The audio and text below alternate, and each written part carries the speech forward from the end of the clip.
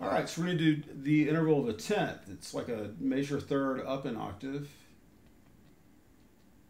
Uh, big stretches, again, probably the, the most beneficial thing about this is to actually, even though it's an eighth note pattern, let each note ring as a quarter note so that you get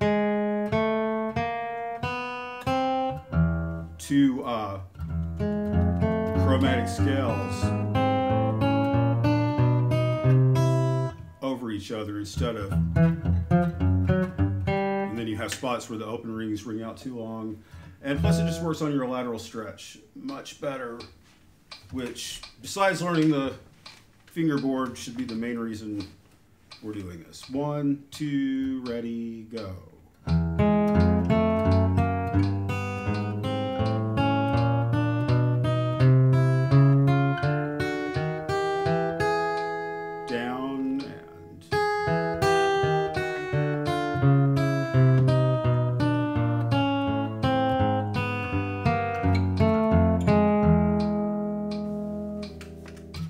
so now we're going to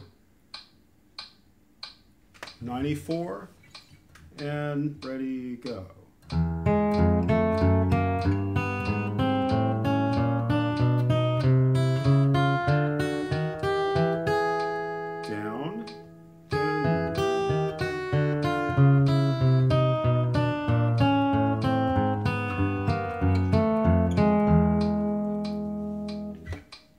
so let's try uh, jumping to 106.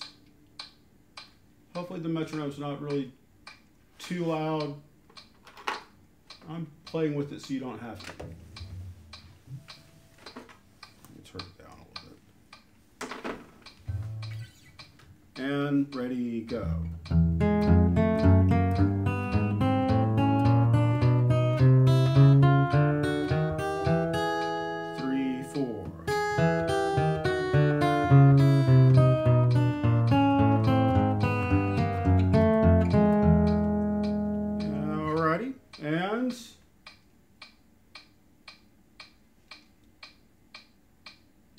All right, 120, three, four.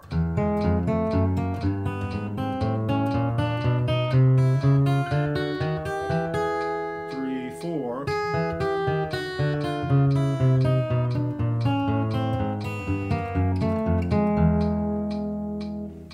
All right, hey, thanks for practicing along with me.